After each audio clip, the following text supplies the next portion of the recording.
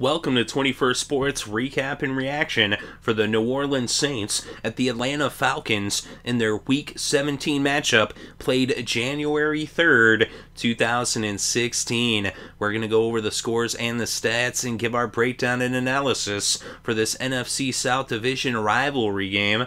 Of course, there was not any playoff implications in this game, but the Saints looking to avoid Sean Payton's first 10 loss season, the Falcons looking to go above 500 in Dan Quinn's first season as head coach, as the Falcons had just narrowly missed the playoffs as they were close, but that seven game losing streak hurt their efforts by entering the game. They came into it eight and seven, and to enter this game, the Saints came into this one six and nine. But to start things off in the first quarter, Shayne Graham would put the first points on the scoreboard with a 51-yard field goal about midway through the first quarter with just under seven minutes still left in the first and it was three to nothing atlanta over new orleans then with just over three minutes left in the first Tim Hightower punched it in from a yard out.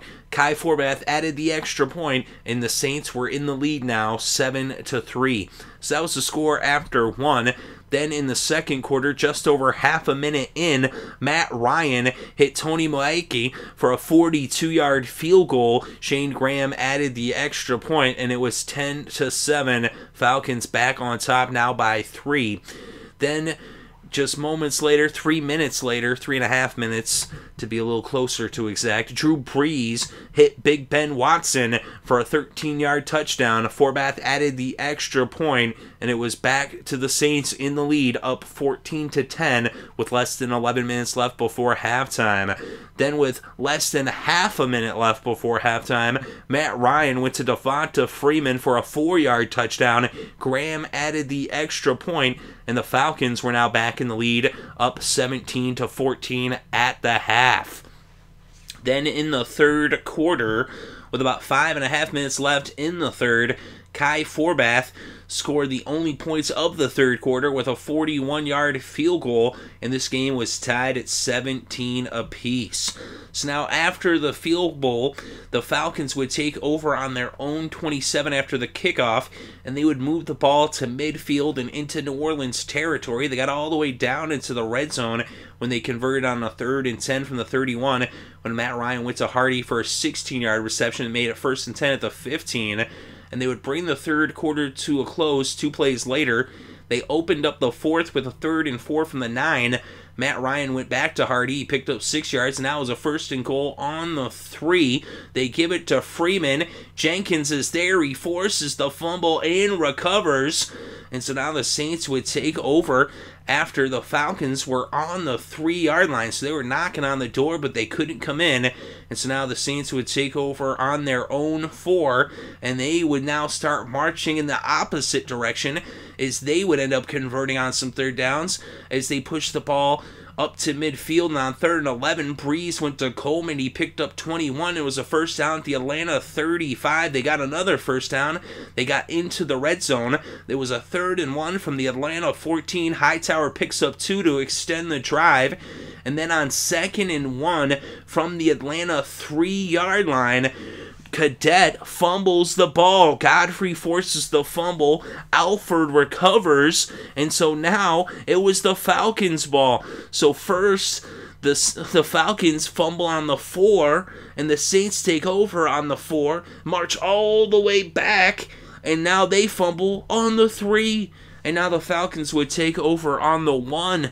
So the Falcons take over on the one, and they actually got into New Orleans territory. Went on second and nine from the 38. Matt Ryan went to Julio Jones. He picks up 27 yards, but on third and nine from the 34, a penalty for unnecessary roughness against the Falcons would push them back into to the New Orleans 43, and they would have to punt the ball on fourth and 18. So after seven plays, the Falcons would punt it to the Saints, but the Saints would go three and out as they had brought the game to the two minute warning, and an incomplete pass coming out of the two minute warning on third and three from the 21 would force them to punt on the next play.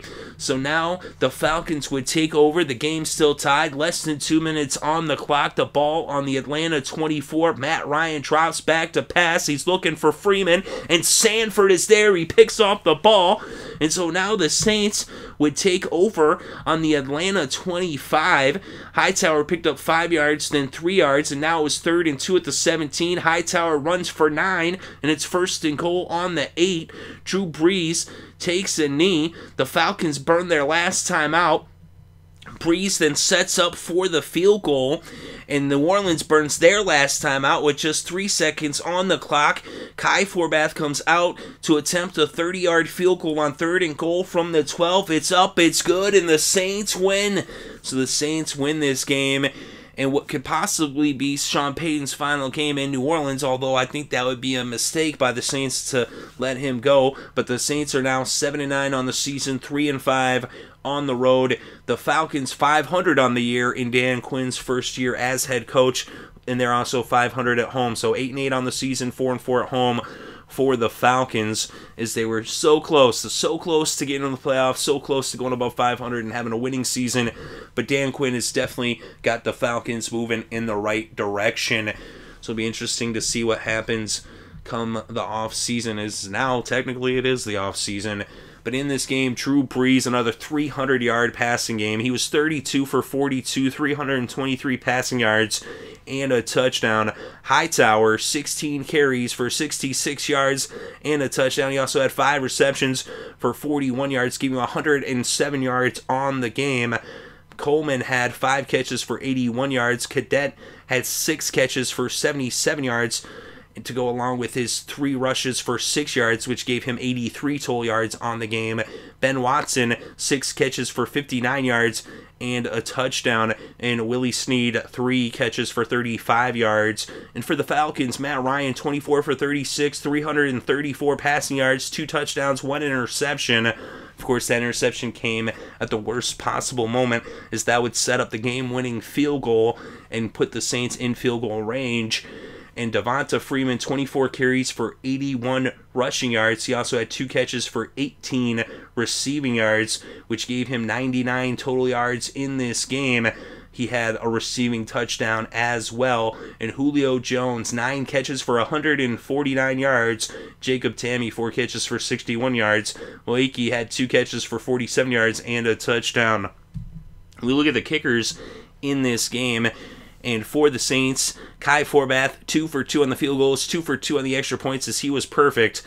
Shayne Graham, one for two on the field goals, two for two on the extra points as his missed field goal would it technically end up being the difference. And we look at the defense for the Saints. Cameron Jordan with a sack. Sanford with that interception that would set up the game winning field goal. Jenkins also with that forced fumble that would prevent the Saints from coming away with any points as they were right there on the doorstep. And then for the Falcons on defense, Godfrey had a forced fumble, but they did not have any sacks or interceptions in this game. And then we look at the team stats 25 first downs for the Falcons, 24 first downs for the Saints. As the Saints swept the season series and was actually the sixth time in the last 10 years that they have done so with Sean Payton as their head coach. Look at third down efficiency, though 8 for 12 for the Falcons, 66% conversion rate, 6 for 10 for the Saints, 60% conversion rate. They went for it once on fourth, did not convert. Total net yards 419 for the Falcons, 390 for the Saints. On the ground, Atlanta netted 92 yards, New Orleans 67 net rushing yards. Through the air, the Falcons netted 327. Matt Ryan sacked once for a loss of 7 yards, and the Saints netted 323. They did not allow any sacks. We look at the penalties in this game four penalties apiece for each of these two teams. The Saints penalized 45 yards and the Falcons penalized 32 yards. The Saints had one fumble, which they lost. The Falcons had two fumbles. They lost one, recovered one. And in the red zone, the Saints two for five, and the Falcons one for two.